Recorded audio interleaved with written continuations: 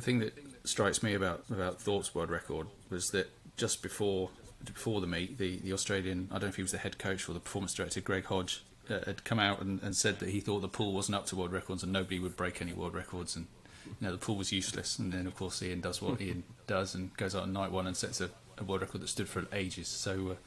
you know. So be careful what you wish for, I guess, when he's considered I think part of that too was a little gamesmanship in terms of like taking some pressure off a guy like Thorpe because people were always expecting world records, and so I think what he was doing there was kind of,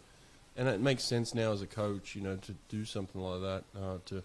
just pull back on the media expectations a little bit of like like let's just enjoy the performances and what come will come, and so then you do get a guy like Thorpe who goes goes and does that, and you think to yourself, wow, he must be really special if he can do it in that crappy pool, but.